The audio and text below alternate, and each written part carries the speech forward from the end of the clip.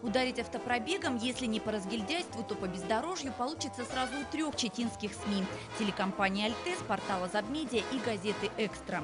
Вместо их прокачу на борту автомобилей сияют логотипы отважных участников автопробега. Едут не на антилопе гну, а как Владимир Путин в прошлом году на «Ладе Калина». Журналистам предстоит проверить качество дорог от Читы до Забайкальска. И даже если наших путешественников не будут встречать в пути восхищенные жители Агинского, Могой, Туаловяна и Сногорска, то экстремальные дорожные репортажи мы вам гарантируем. Первым в маршруте значится Дарасун. Головная машина автопробега достигла населенного пункта уже через час после старта. Командовать автопробегом журналисты обещают коллегиально. Командоры, бортмеханики и водители отправились в путь в приподнятом настроении.